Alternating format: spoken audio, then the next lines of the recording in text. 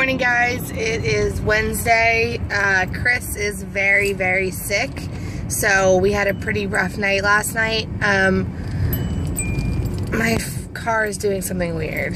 I'm on my way to work now. I've already dropped off the baby with his grandmother um, and I'm just hoping that today is a nice smooth day. We can get through it and get home. I don't know what Chris's schedule is but he went in super early so I have a feeling he's off by like 3 or 4 o'clock um, I'm hoping at least.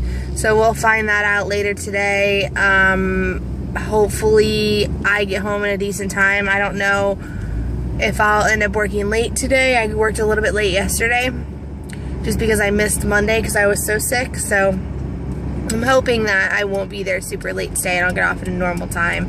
By the way, I got the new Taylor Swift CD 1989 and I just want to say that um, I cannot stop listening to that CD. It's ridiculously good.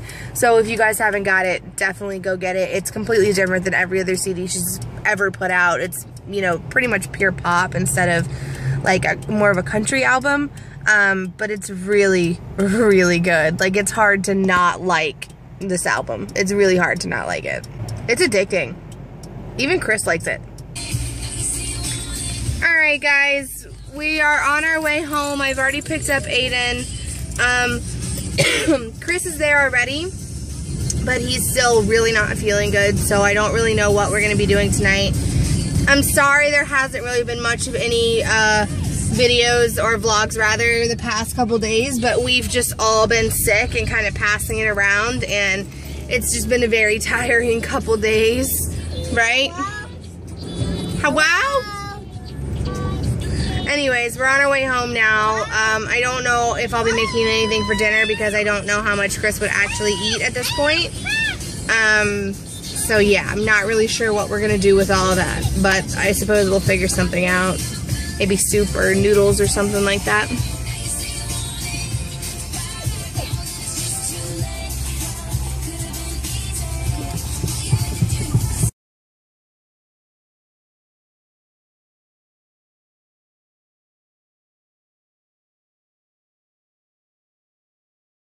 My phone is dying, so I might not have much time um, to say anything before I get home and can plug it in. But um, I'm sorry I didn't vlog this morning. I filmed something of Aiden, but I didn't actually say hello because I forgot to afterwards. Um, but I'm on my way home now. It's 4.30. Chris got off at 4, so we both get to be home together tonight, which is awesome. I'm not used to him being home with me because I got used to Halloween Horror Nights where he was pretty much always working. So it's nice to have him home with me. Um, and tomorrow's Friday, which is awesome because we get paid. And let's be honest, everybody likes to get paid. So that'll be a good day tomorrow. Um, I think I have some stuff planned with mom this weekend, so it should actually be a pretty exciting weekend for the vlog, which is good because the videos have been so short lately and kind of boring because I haven't been doing anything. I'm a mom and a wife and I work full time and that often takes up most if not all of my time just because it's a full-time job and I have a full-time job. A lot of it's not very exciting for you guys because it's domestic life and it's not the most exciting thing in the world. That's unfortunate. But I think we have some cool stuff planned this weekend. I'm not going to say anything right now because I kind of want it to be a surprise for the vlog. But I think it'll be fun and I think it'll make for good vlogs. And I think you guys will enjoy it. And I'm stopped right next to people and I think they're all staring at me because I'm talking into my phone. But I'm just going to continue to do it because who gives a shit, right? Right, I suppose, I guess. Until one of them is somebody that I work with because I'm right next to my work. And then they're like, oh, well, I saw you yesterday in your car talking to your phone. That could be a really awkward situation. And it would have looked more awkward if I was laughing at myself. Probably. Oh yeah, I straightened my hair today. That's, uh, doesn't happen often. People are honking. today is a decent day. It was a good day at work. I was busy. I got to see my best friend because she was working with another company and was at the area that I work at, or at the hospital that I work at working there. So I got to have lunch with her, which is pretty cool. And, um, yeah, so it's been a pretty good day.